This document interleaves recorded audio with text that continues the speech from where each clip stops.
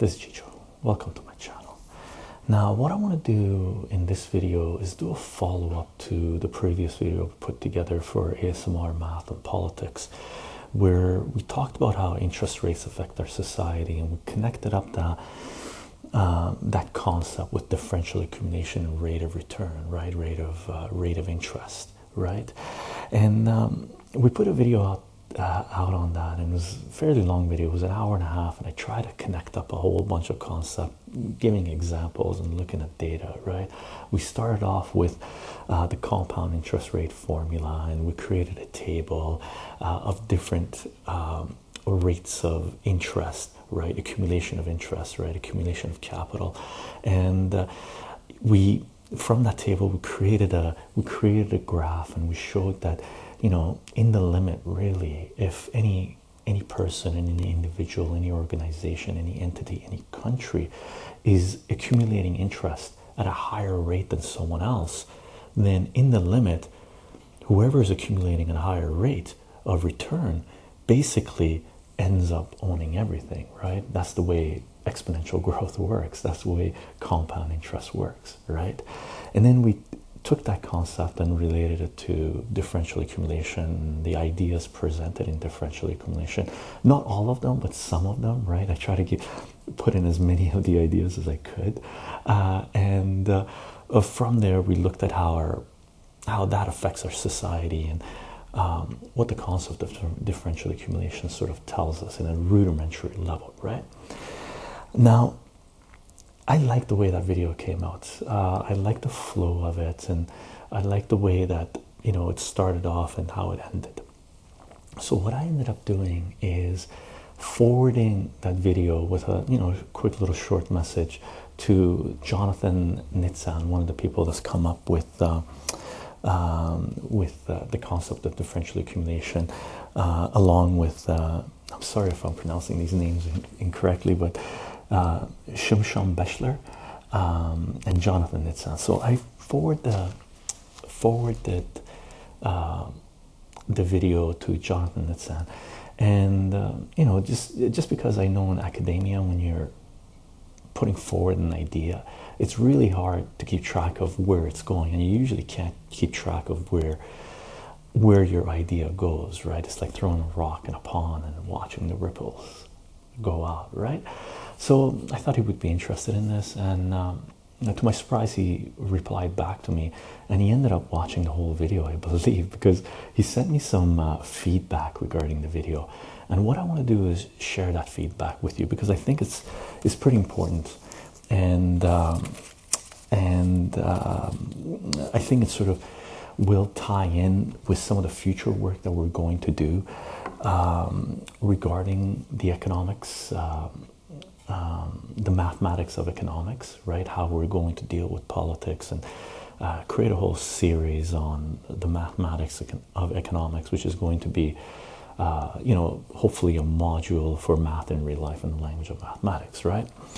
Now, I forward the forwarded the link, the video to uh, Professor Nitzan, Jonathan Nitzan, and um, he sent me some, uh, you know, some pleasant um, cor- correspondence, just a couple of couple of comments and whatnot, um, with me thanking him for putting, putting uh, thanking Jonathan and uh, um, uh, Professor Besh- Bechler uh, for putting this idea forward because I think it connects up with a lot of the. Um,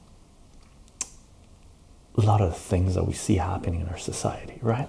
And uh, Professor Nitzan had a couple comments that I wanna I wanna share with you, and the first one is this. Now, in the video, um, because we started off with talking about uh, the rate of interest, because we're talking about compound interest and stuff like this, and we continued, or I continued, uh, that phrase rate of interest all the way to the end. And Professor Nitzan mentioned uh, that I should have not just referred to rate of interest, but I should have referred to it as the rate of return. So in the video, when we transitioned from you know the compound interest rate and rate of interest, and we graphed uh, the the different rates of interest. You know, someone accumulating interest at five percent, two percent, or ten percent, right? And taking taking a look at the exponential growth on that. At some point, as soon as we start talking about differential accumulation, I should have changed the terminology from rate of interest to rate of return because we're not just talking about, as Professor Nitzan pointed out, we're not just talking about finance, we're talking about rate of return on anything, right? And that that's more encompassing than rate of interest. So if you're watching that video or if you have watched that video, keep this in mind that it's not just the rate of interest that we're talking about, but it's the rate of return.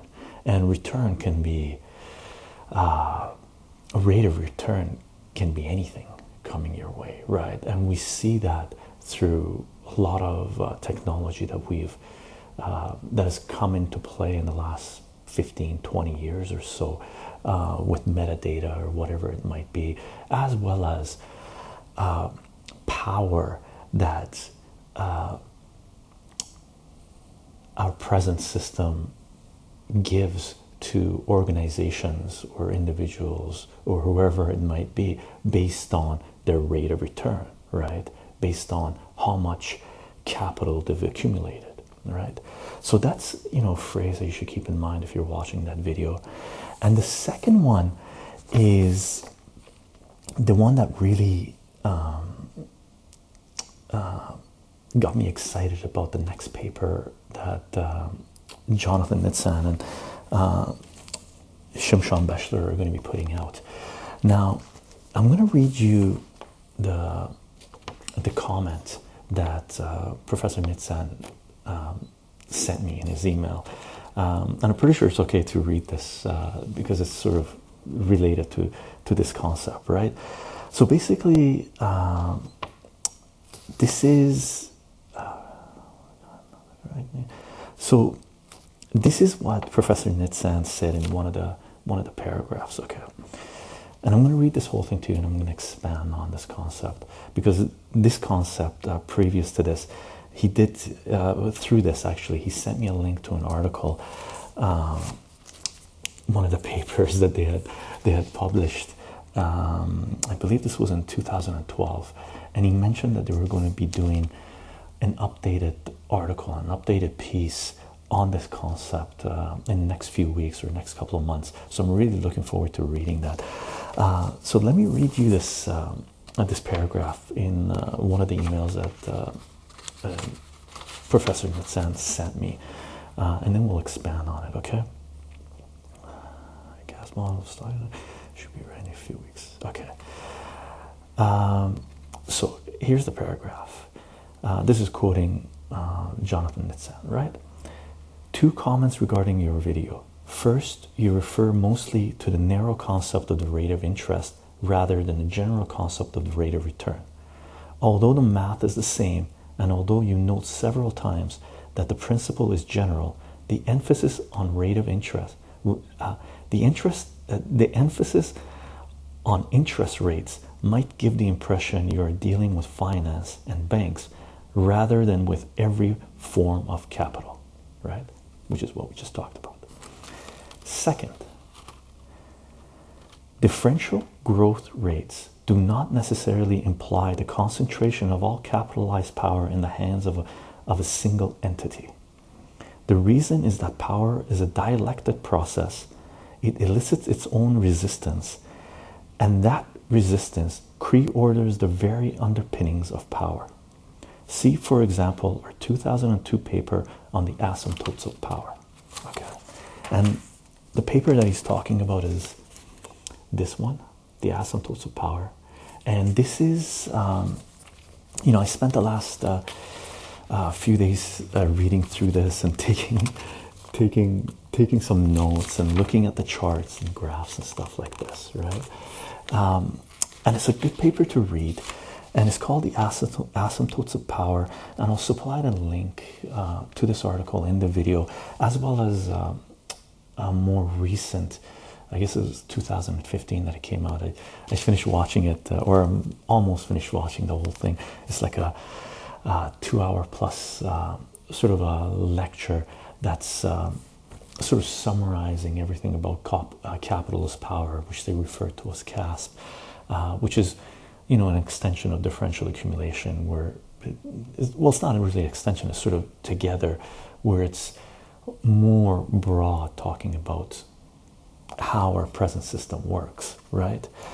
Now, what Professor Nitzan uh, implies with this uh, comment, the second comment that he made, where he says, differential growth rates do not necessarily imply the concentration of all capitalized power in the hands of a single entity. The reason is that power is a dialectic process. It elicits its own resistance, and that resistance creorders the very underpinnings of power, right? Now, just one comment regarding the previous video. I try to fit in as many concepts as I could regarding differential accumulation in that video, but I didn't cover everything because I would have to go through defining things, right? Two of the, or one of the main concepts that I didn't mention in that video was creorder. Now, creorder is short form. It's a it's a word I believe uh, Professor Nitzan and um, uh, uh, Shimshon Beshler introduced. So creorder you can think of as creating order. Okay, and in our present capitalistic system, those who accumulate power at a faster rate than others, they create the order. Now the creating of the order, Cree order, plays out in our society in many different many different branches many different fields. It basically encompasses our complete society. May it be through mainstream media may it be through film may it be through intellectual property rights may it be through copyright may it be through monopoly powers may it be through food uh, control of food may it be through control of transportation maybe through control of uh, academia, right? Every individual, every organization that is has placed themselves, who has been, who have been accumulating power at a higher rate than others, they've basically placed themselves in our current capitalistic system in the echelons of power, right? In the higher, if you think about it as a pyramid, they're at the top of the pyramid, creating the order of our society right? creorder. That's a really important concept to appreciate because it it implies so much. Okay, so what Professor Nitzan implies that the the entities that are accumulating power, right, at a higher rate than everyone else, as we talked about in the previous video, they become asymptotic relative to you know is exponential growth and they dwarf anyone else that is accumulating at a at a at a lower rate than they are right so they be, you know their rate of growth goes like goes up like this and they become asymptotic right they just keep on going up going up going up like this and asymptotes is something that we talked about in a previous video for uh, the language of mathematics right? Where we took a look at a function f of x equals 1 over x, right? And in mathematics, uh, the one restriction we have uh, is that we cannot divide by zero because as soon as we start dividing by zero, what happens is the universe basically explodes. The laws of mathematics collapse, or our understanding of what happens based on the laws of mathematics are undefined. We really don't know what happens at an asymptote. We really don't know what happens when we divide by zero. The only thing we can do in mathematics when we come up with a situation where in the functions we are dividing by zero, what we can do is look at what the function does as it approaches the asymptote, right?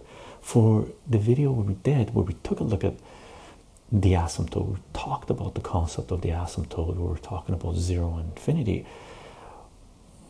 We had the asymptote, and one side of the asymptote, the graph was going up. Actually, I believe it's on the other side.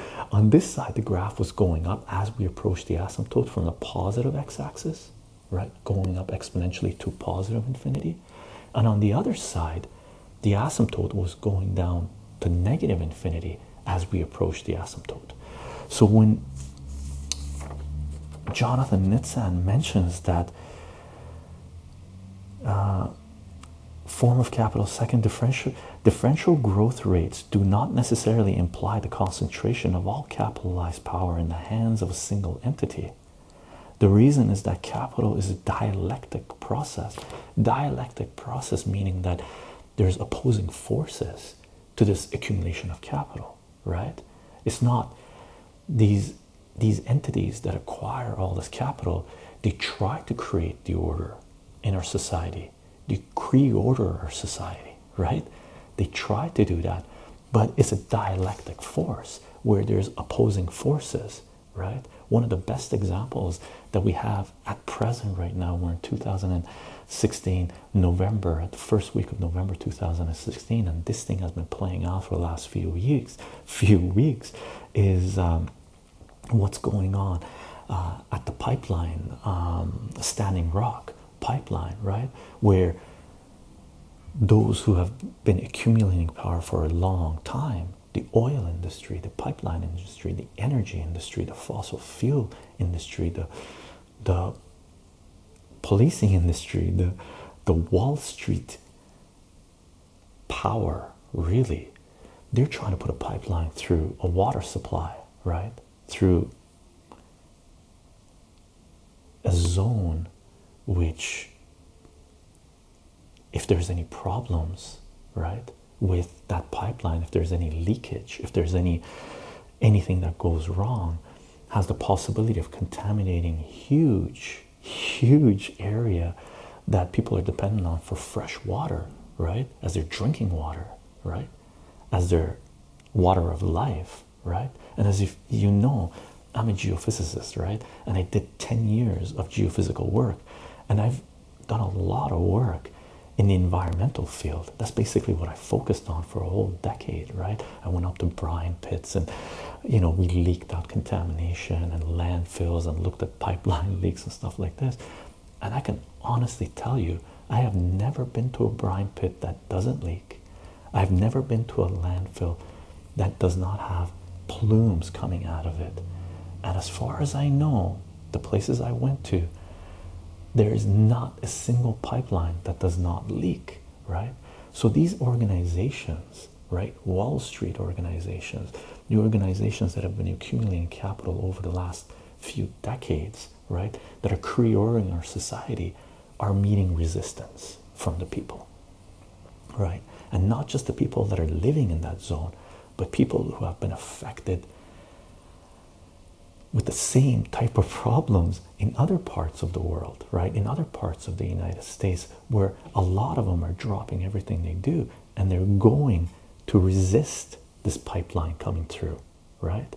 That's what Jonathan Nitzan is referring to as uh, reason that the power is a dialectic process, right?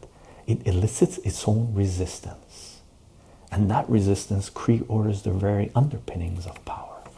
So, what we are seeing right now is the resistance becoming more powerful and possibly reordering things, right? Where at present, right now, uh, you know, the administration, the government has come out and said they might think about redirecting the pipeline. They're just going to see how things play out. So, what they're implying is they're waiting to see how this resistance, how this conflict is going to play out, and how it plays out is going to decide what the government's going to do, right? An extremely relevant example of what Jonathan Nitzan is talking about. And going back to this paper that he sent, the asymptotes of power, and the follow up that they're going to do in the next few weeks. What they do in this paper is give examples of where uh, our present economic system, our present political system is meeting, is coming up against their asymptotes, and how that will creorder our society into the future. How the present order that has been created based on those who have accumulated power over the last few decades or last few centuries, if you want to think about it, how a lot of those areas are hitting their asymptotes or not hitting it, approaching their asymptotes at a fairly fast rate and growing, growing, growing, where we're seeing, you know, I forget what the stats are right now. It's one percent of the world, uh, of people in the world control more than 99% of the people in the world or you know 0.01% controls more than you know has more wealth than 50% of the world right? So they're hitting their asymptotes. And what jonathan nitzan and uh, professor um, shimon beshler are mentioning is that uh, the dominant capital right now in our society and dominant capital um, is the other term that I didn't I didn't cover. And dominant capital is basically our present economic and political system. Those institutions, those individuals who have been accumulating capital over the last few decades and some centuries, right? Dominant capital has creordered society, but they're meeting resistance. They're meeting their asymptotes and if uh, and if you recall in some of the other videos uh, where we've talked about this where if you want to see how the dominant capital with the order that they've created in society is approaching asymptotes to a level where all of a sudden something clicks right? And the order in society changes um, what you want to do uh, if you want to get a good example of some of the places that this has happened throughout history is read some of chris hedges work where um, specifically the book that we've talked about a few times maybe through uh, you know how to read a textbook um, and we talked a little bit about this politics is days of destruction days of revolt. And chris hedges gives examples where the order in society everything seems to be business as usual until something happens where there's a huge paradigm shift and all of a sudden the dominant capital loses complete control over the society and a whole new model comes up right? And um, one of the best examples and i've watched a few chris hedges lectures and i've read some of his articles and days of destruction days of revolt and he always mentions this is i believe it was in poland or czech republic uh, this one of the eastern uh, european countries where um, there were people demonstrating in the streets and the dominant capital those in power in government gave the order for the military for the police to fire on the demonstrators right, with live bullets, and the police refused. And as soon as that happened, within days, the people in power lost complete control. The whole society was reordered, right? There was a brand new, right? As Professor Nitzan mentions, the reason is that power is a dialectic process, right? It elicits its own resistance, and that resistance creorders the very underpinnings of power. And that's sort of as far as I want to take it when it comes to uh, the politics aspect of things. Um, but I, I wanted to share this uh, extra info regarding the previous video and uh, my conversation that I had with uh, Jonathan Nitzan. I thank him for providing, you know, uh, the sort of the corrections, I guess, to the video that I put out or the additions to the video that I put out.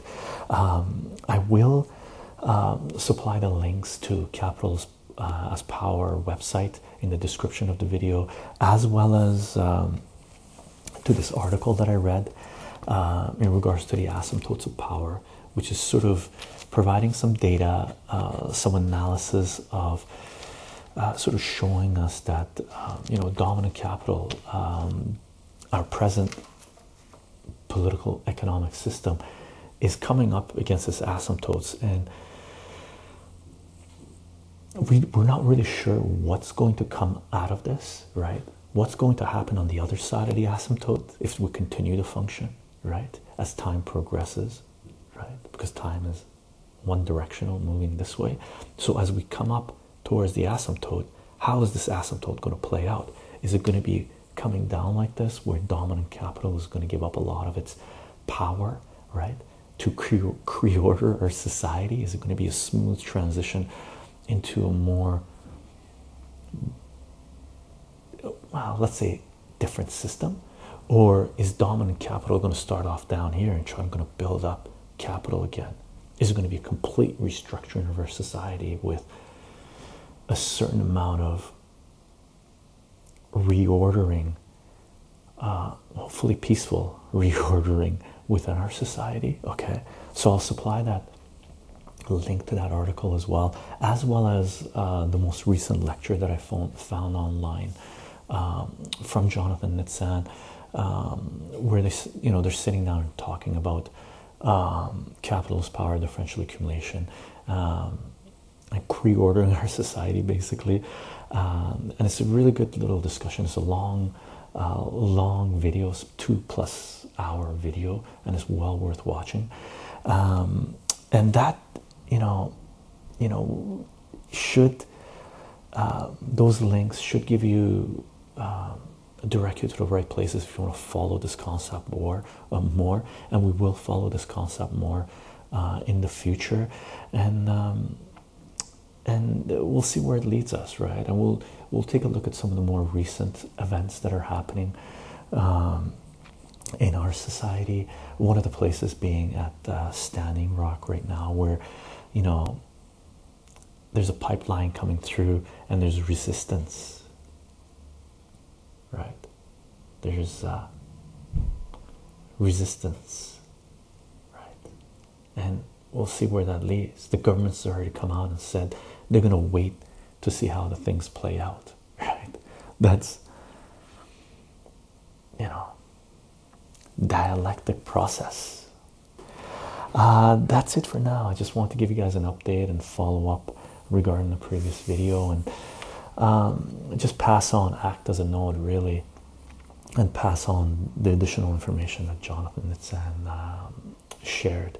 And um, i thought for those of you who are interested in this uh, you'd appreciate it. And there will be links in the description of the video um, that'll take you to capital's power uh, website and a paper and a lecture where you can you know if you're interested in this you can follow this up a little bit more. Okay. Uh, that's it for now. I'll see you guys in the next video